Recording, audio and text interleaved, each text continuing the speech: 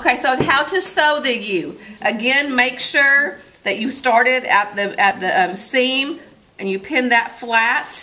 Make sure the bottom is flat too. You don't want that to be turned in and not open. Make sure those match up first. Then go up one side, pinning every four inches, bringing the top and the bottom together. Same thing on the other side. You should have your three notches matching up on one side and your two notches matching up on the other side. Now this is the tricky part where you where people have oftentimes just sewed sewn all of this together and it's a big huge mess if you do that. So if you don't know what you're doing, put your name on the board and patiently wait. I promise you it'll be less stressful and you'll spend less time waiting and doing it right than doing it and it's a huge mess and you have to rip it all out. Okay?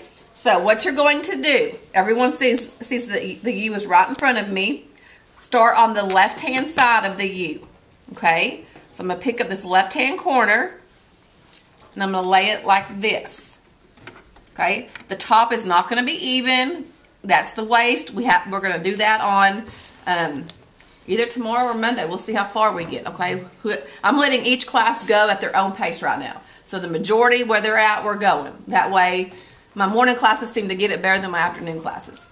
So we're just going to go with it like that. So I've put the left-hand side in there. The hard part of doing this is when we come down to sew the U because we have all this bulk. So watch what I'm doing. Everybody knows how to start. We're going to start it like we always have. Barely catch the material with your presser foot. You're going to go about an inch, stop, back stitch all the way. And then we know to stay on the tape by now, right? I hope so. So we're going to stay on the tape the whole time you're going to have to be rearranging this and making sure that you're only sewing these two pieces together and this doesn't bulk up under there and you sew it together. So take your time, ensure that it's flat down here, make sure there's no more bulk and you're just going to sew this entire straight part coming across my little triangles there. I know I did that correctly. Now you'll have about 10 inches of just sewing straight and then it gets complicated. So now I'm starting to curve in my U. It's getting a little complicated. You're going to have to stop often and reposition this material to pull it around to finish that U, making sure that it's not bulked up over here or under here. So I've turned it. Now I'm making sure it's not bulked up. Now I have to actually curve when I sew. So staying on this tape is going to be very important. You have to go very slow and be very cautious. So you see how I'm turning I'm pulling the material this way. I'm constantly stopping, pulling more material, making sure it's not doubled up or bulky under there. So I'm just sewing the two pieces together. So do you see how it's kind of a mess and you have to be very aware? Now I'm coming to one of the big parts of your braid is right here in the middle of the U. I'm to take my pin out carefully I haven't gotten to the point of sewing yet. I'm going to peek underneath and make sure that that seam is open. Carefully lay it back down.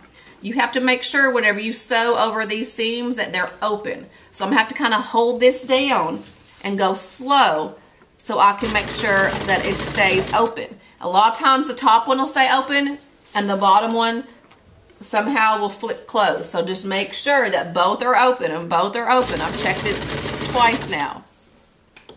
And if it looks like it's starting to close, then just stop and open it up.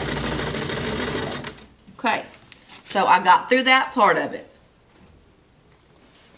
And I'm still in the U. I'm still turning.